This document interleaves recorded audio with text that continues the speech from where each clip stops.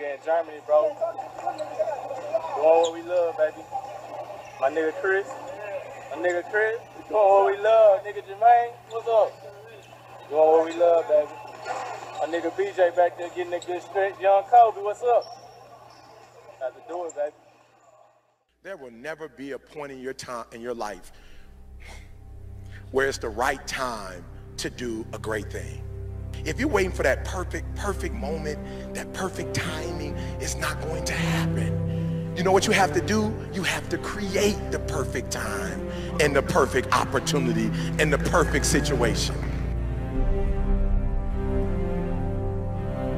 Is that a lot of people become comfortable. They stop growing. They stop wanting anything. They, they become satisfied. People getting ready to go to jobs that they don't like, jobs that are making them sick. You see, when you're not pursuing your goal, you are literally committing spiritual suicide.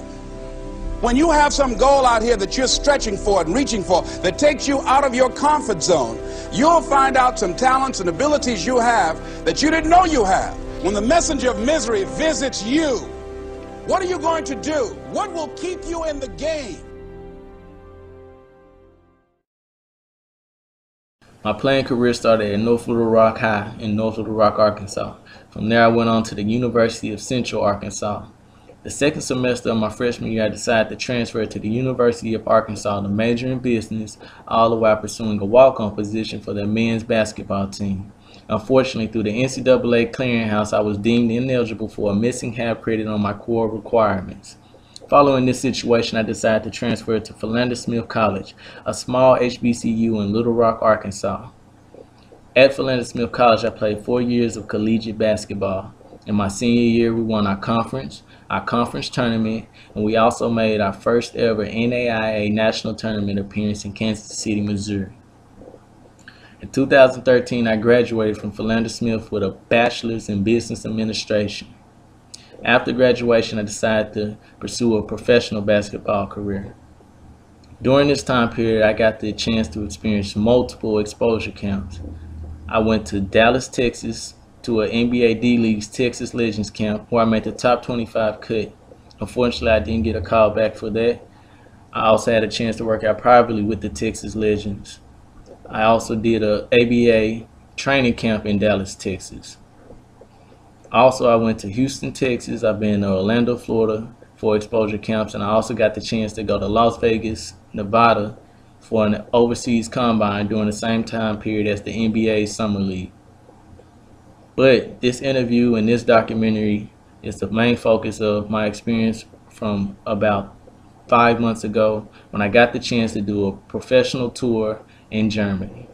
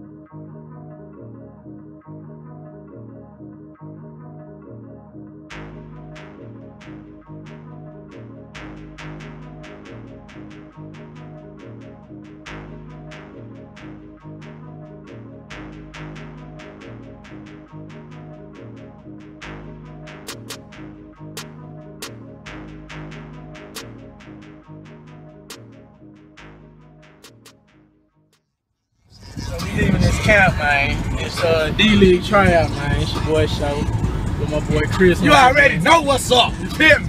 So uh, how excited? Hey, excited I am, nigga. so uh, top 25 is what we looking at right now. Out of hundred. Out of hundred. For On a the D League team. For the D League. Top 25 though. First year out of college, son.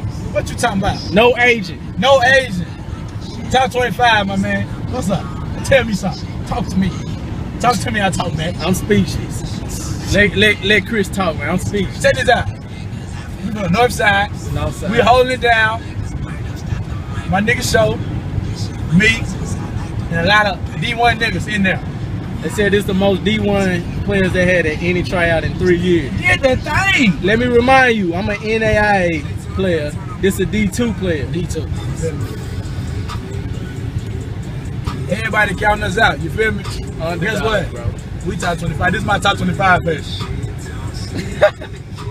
top 25 page, nigga. That's Top my new shit right there. That's my new shit. This shit crazy, bro. Damn. This shit crazy, bro.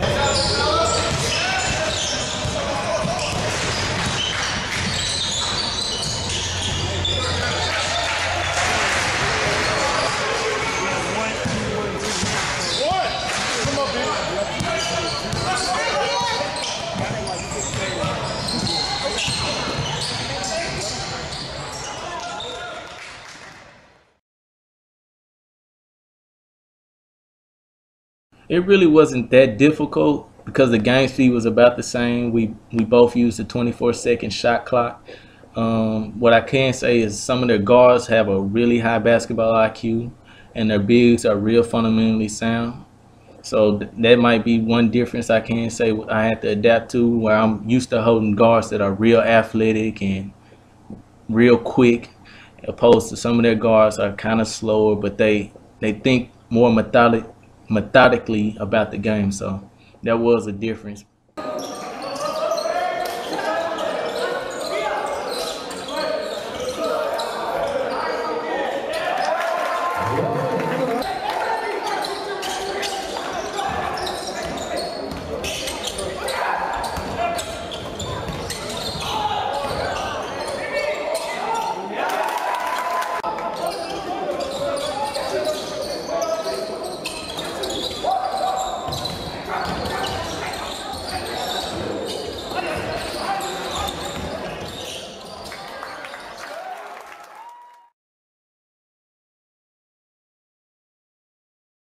The traveling was extremely different for me because we rode the bus or the train to all the games, and many times it was like we had to walk 20 minutes just to get to the gymnasium after getting off the, at our stop. So that was a big difference. And after games, we have to walk maybe 15, 20, 30 minutes, and that's just to get to the bus stop, you know, or the train stop.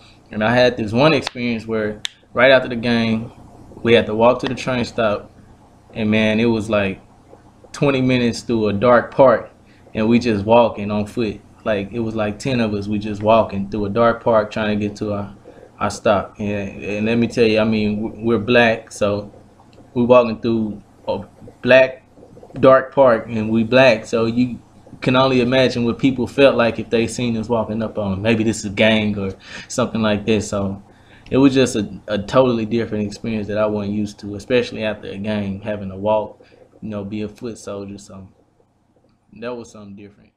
Here's the deal. We put the truth in the package. It's our gift to you. Call this gift rapping. On tracks, I'm snapping like I just heard a poem. No swarm. My name just buzzing up a storm.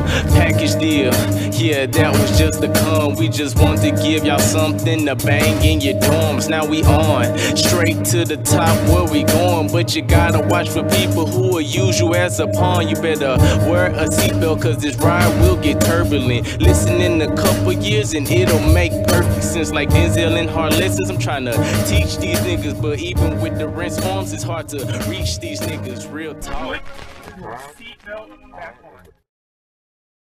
I mean, it was a culture shock. I mean, like seeing the people where I'm from. If you make eye contact with somebody, you know, hey, how you doing, or hi, how's your day? There, I mean, it's like they didn't want to look at us, so that that, that was kind of different. Um, the scenery was awesome, man. It was awesome. Also, they they had some the food. The food was it was alright, but they had one thing called like a doner kebab or something with like chicken or beef. It was kind of like a, a wrap or a sandwich, man. I could eat that every day. I ain't gonna lie. They had turkey legs. It was pretty good. They would roast them in front of you, man. Kind of like rotisserie style. So, I mean, it, it was cool. And then they had like a nice outlet mall. It was open, nice little city. I mean, it was just real chill. Like everybody was just, it was quiet. It was cool. It was like a nice little place to, you know, live. It was a cool place. Uh, currency, that was a little different because they used the euro over there. So I'm having like a coin, but it's worth two dollars, and it's about the same size as a quarter. So like, at least two or three times I'm at the gas station or checking out somewhere, and I accidentally give them a quarter, and they looking at me crazy, like, man, what is this? And it was mistakenly to be a two dollar euro, so that was kind of different. I mean, other euros like the paper euros is about the same.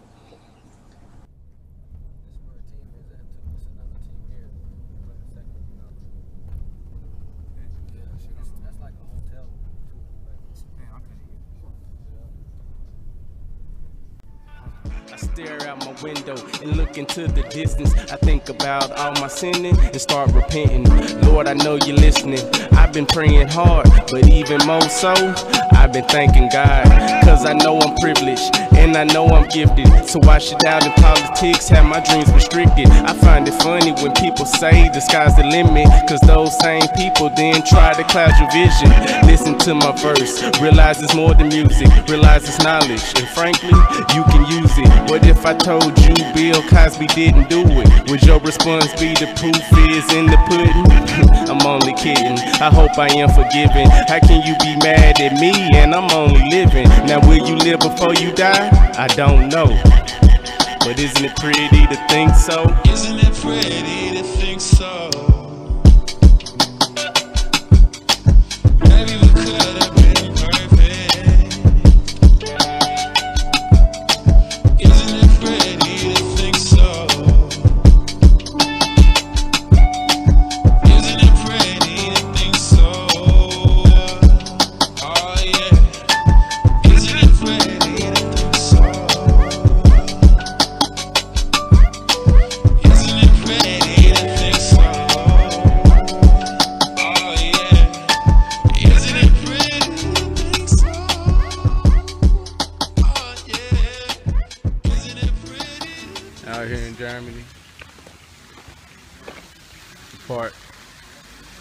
Chess. Look at that, nice. Little water fountain with ducks and fishes.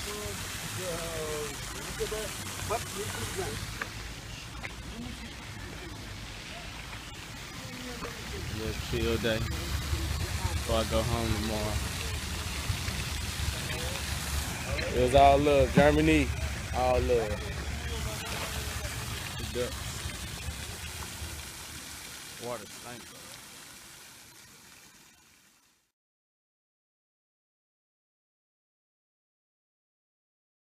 Summary of the tour would be day one started for me like early, like two o'clock at night, because I had to pack all night and catch a flight at six from Little Rock to Providence, Rhode Island.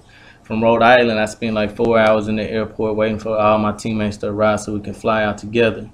So we flew out from the U.S. about 7 p.m. and made it to Germany about 7 a.m. Frankfurt, Germany. So it was like a whole time change where you spend seemed like 12 hours on the plane, but because of the time change, it really wasn't that long of a flight, maybe seven, eight hours.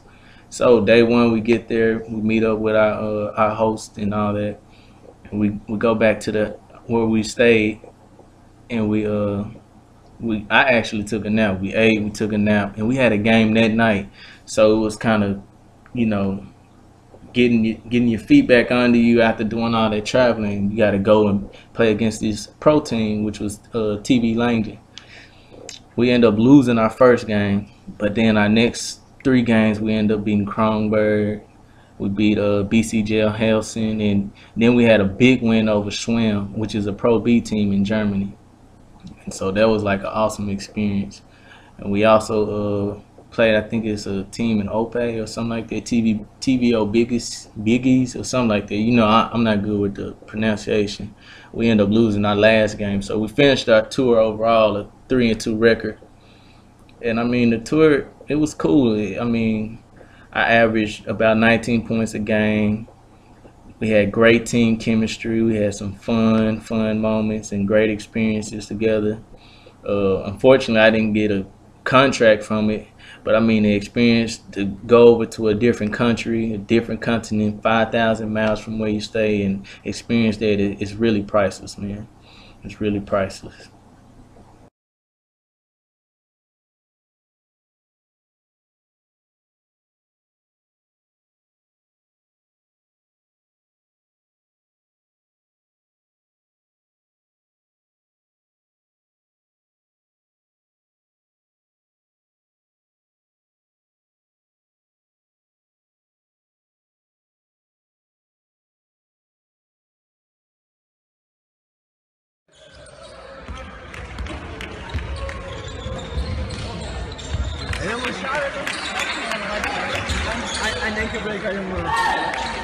Der war mies.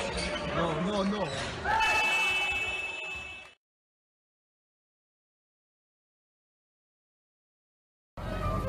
Out here in Germany, baby, on the move. Trying to get it. Headed to the next game, the last game of the tour, baby. Gotta make it do what it do.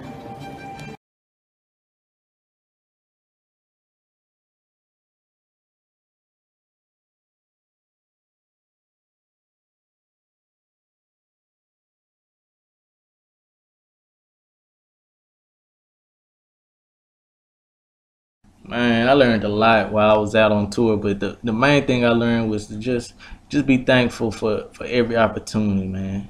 Opportunities like that come few and far between, and you, you really know never know when you might get that chance again. So just just value your your moment, live in your moment. You know what I'm saying? So that was one of the main things I learned. I also learned to value that Wi-Fi, man, because you only got Wi-Fi at your house and you be gone all day to your games, on the train, on the bus. You away from the house all day. It's like you dead to the world. You can't contact with your family like you usually do when you back in the States.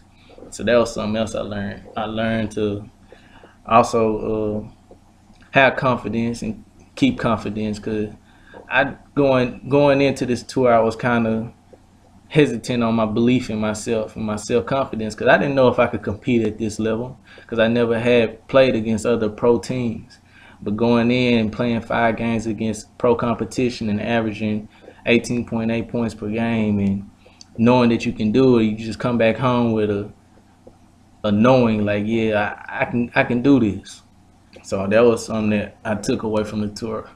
Also to be thankful for all your exposure because I got a chance to be interviewed by Eurobasket while over there, and I mean that was big. Like, guys' timing is crazy. Like Eurobasket is a big, big thing with the um, FIBA and overseas basketball. So that was some great exposure, and I was very appreciative of that, especially while I was in Germany. And lastly, I probably just say, man, don't don't ever leave your house without your passport, man. That's that was also big, man. I had a teammate get stopped, and I'm talking about he was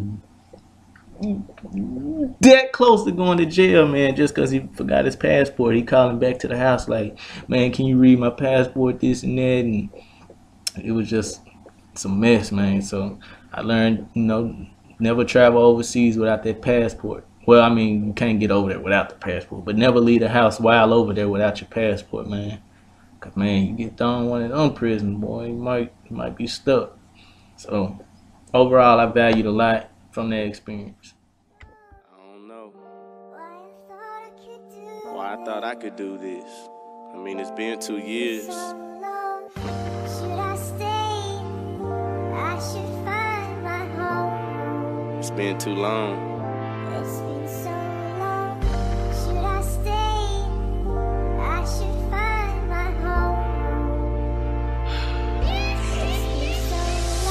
What you know about chasing dreams, getting close but didn't succeed. Your mind tell you to give up, but in your heart you still believe. You believe you can make it, but you're running out of patience. I came too far to give up and let my dream be forsaken. I thought I could buy forever, now contemplating my future. Thinking about new goals, the highs and the lows, and the paths that I'd maneuver. I remember them days when fans would scream. Now I'm alone, nobody cheer for me. I grind alone, nobody here for me. So I stay to myself, nobody here from me. All I got is my thoughts, my tennis shoes and the ball. I enter the gym, look up at my banners and know I paid the cost. Should I stay or should I give in? This was my reason for living. My hoop dreams got me losing sleep. I gotta make a decision. What. I've been doing since the tour, man. I've been working, spending time with my family. Right when I got back from tour, my brother got married, so that was a great, a great experience, a life, a lifelong memory. Um, I also coach a youth basketball team since I've been back. Uh, besides that, just still working on my game. Right now, I currently play in the semi-pro league here in the state, so I'm staying active in case I ever get another opportunity to pursue that situation. So, I mean, besides that, man, just living, just living.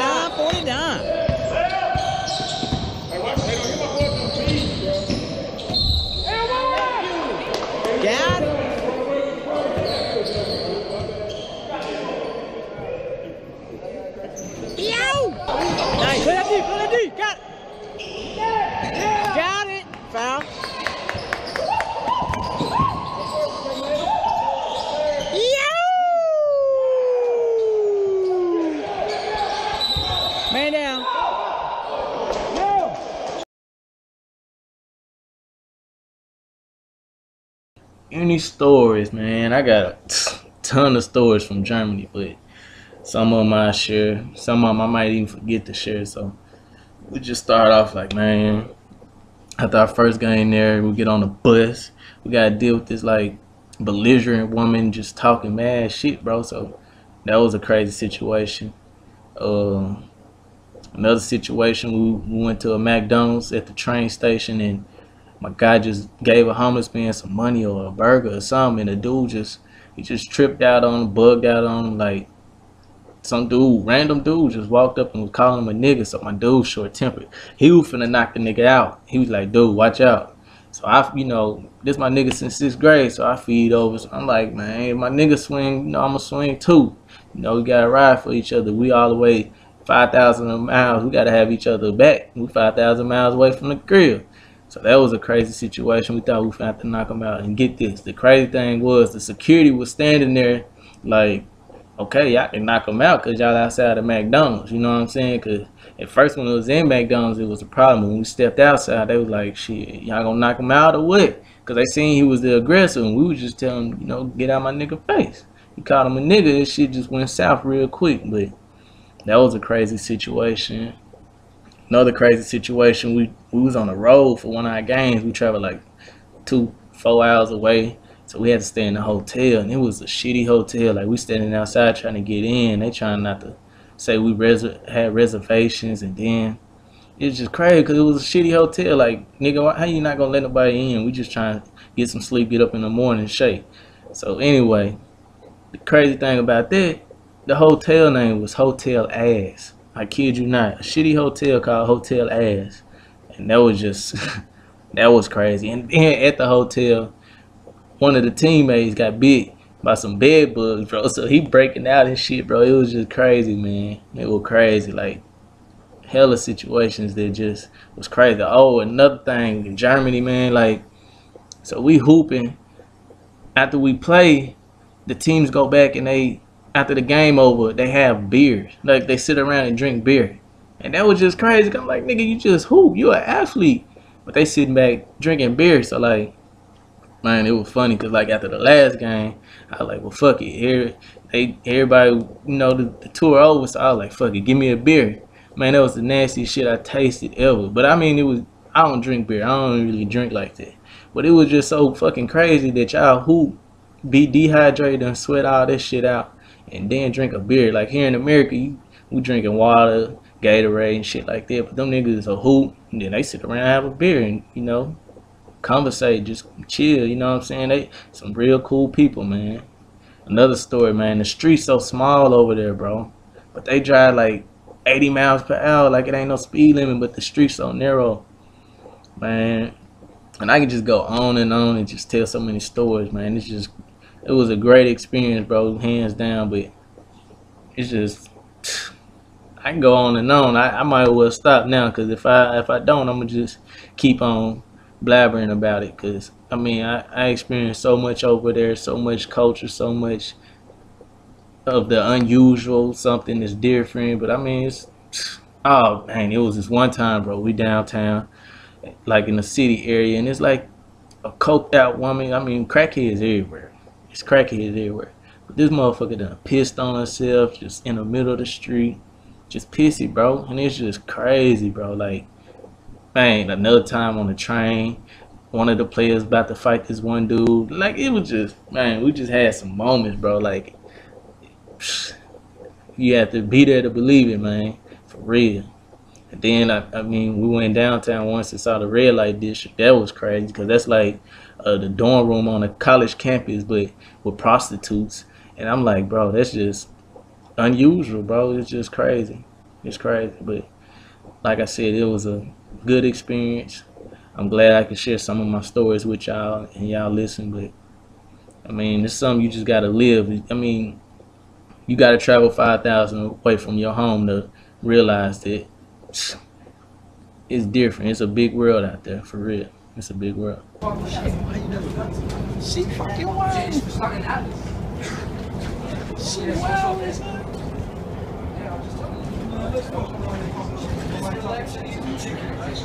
I don't talk to you. I talk to my friend. No bets. Oh, you always at the front, ain't he? White motherfucker over there. That's this. Damn guy next. Where you at? She on some, she on the bars. That's what's crazy. You don't even know if people be drunk out here or not, because they just be talking shit. she on them bars, man. She trip. On this bus. I knew. How much you gonna pay me? You got to pay me. How much you gonna pay me? You got to pay me. Ah, shit, she coming up here. Ah, shit. You said what? Think it's nice? Man, you better back up, man. You better back up, man. Hey, what was you say? Chris got ran over. That, that, that, that, Hey! Hey, hey, what? Hey! Hey! You want to send the chicken to your grandma? You with me, me? I'm a nigga also, bitch. I'm crazy what? Yo, what's it? Huh? Whoa. This is what? Nah, On let the- me on see the- that, on the- huh? we out here. Now move, bitch. Move, move. Bitch, come to the block. Move from. Bitch, how you say something like that? How you say something like that? Huh? How you say something like that? Say, blast me, Yo, Yo, Yo, she chicken. hey, blast me on, snuffer. Okay, come on, what the? Okay, okay, okay, Okay, okay. Ah, we're taking him out. Come on. You ain't got no dick. See, what you mean you got a I got dick? I know you- him out there. Pull it out. Pull it out there. Pull it out. Pull it out. Let us see. Pull that shit out there. Pull it out. Pull that dick out, man. You fucking tripping, man. World star.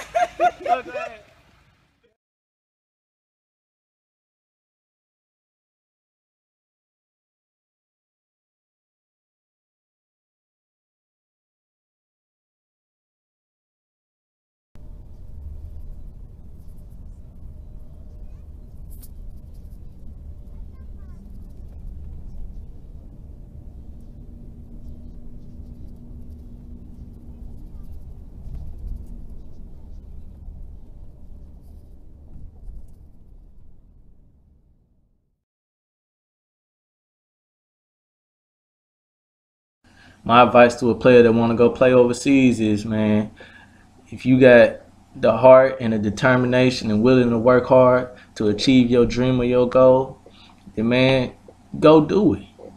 Put in that time. Put in that work, man. I mean, along the way you're gonna have some bumps, you're gonna have some bruises, you're gonna get knocked down.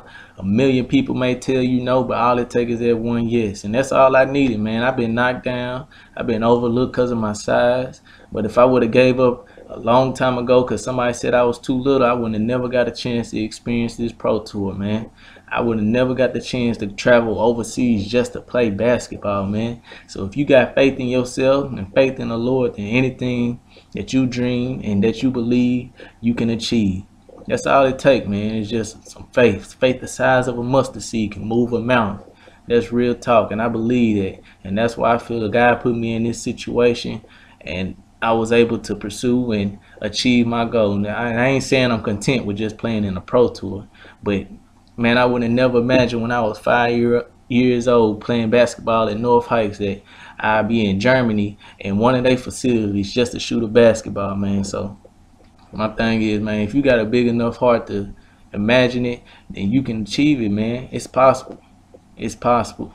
Trust me, I, I wholeheartedly believe and have faith in God that He can open that door for you if you work hard enough. And you know what I'm saying? Just like they say, faith without works is dead. If you got faith and you ain't working, then basically your dream is dead. But if you got faith and you working, it's always alive. It's always an opportunity to fulfill that dream, man. And that's with anything, not just basketball, man. You got to believe in yourself and it'll happen. Trust me, it'll happen. It'll happen.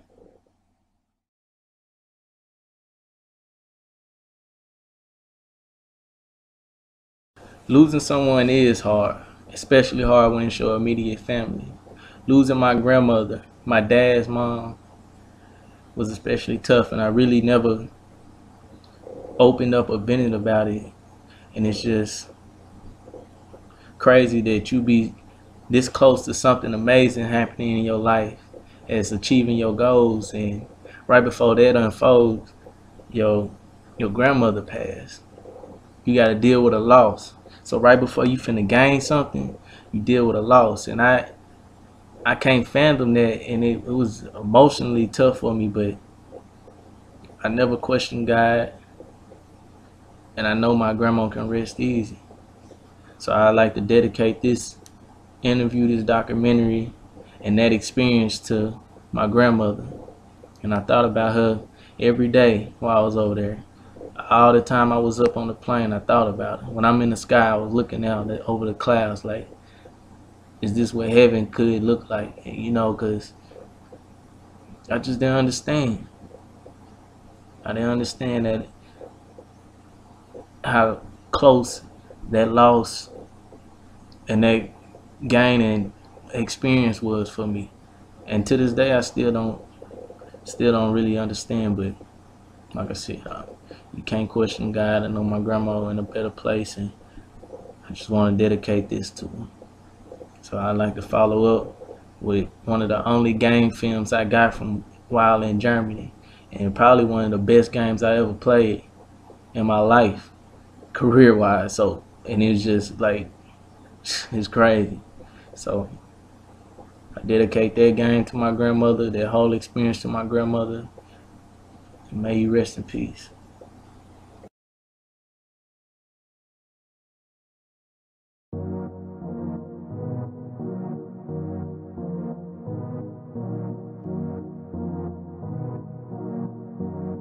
GotInstrumentals.com.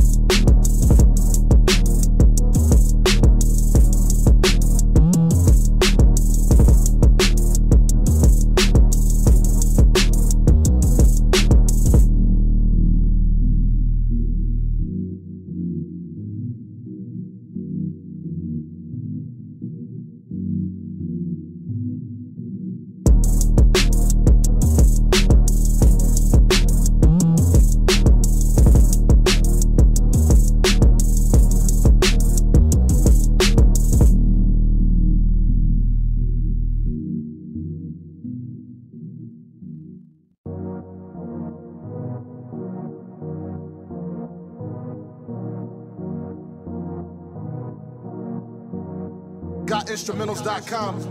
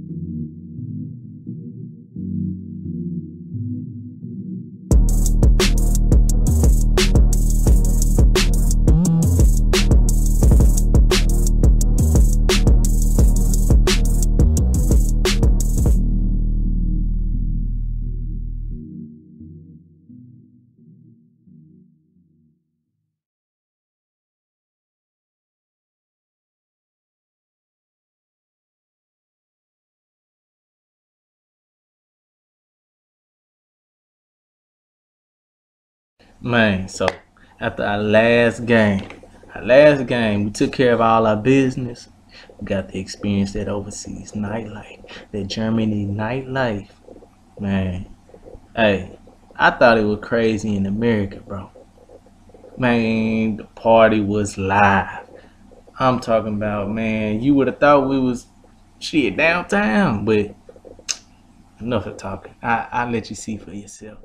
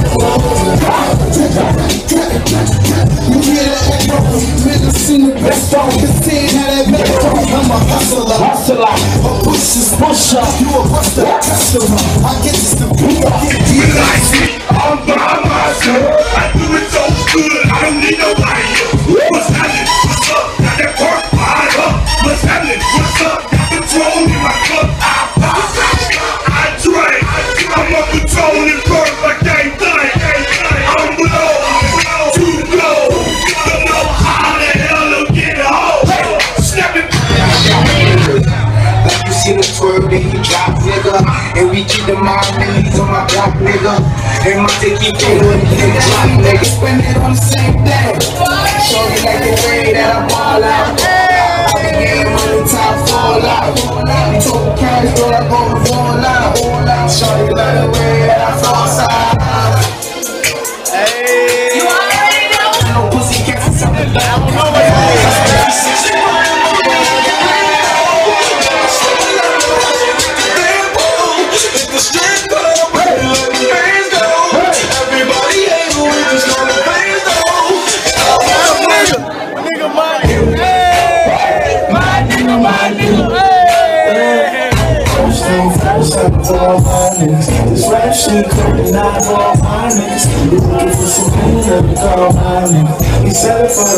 I need all my niggas We smoke, smoke, suck another drink, drink Got niggas on the block, but they got their own thing That's a nigga back up, they got a bucket locked up I got to ask right if you niggas wanna act up What time we leave the club, nigga? It's daytime. I can't even hear it, bro. It was so loud in there.